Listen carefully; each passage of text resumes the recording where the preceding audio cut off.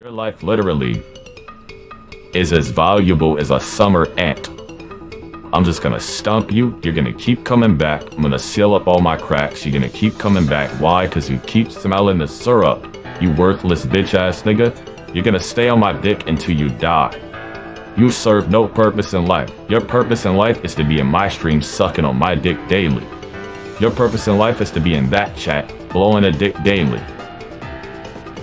Your life is nothing. You serve zero purpose.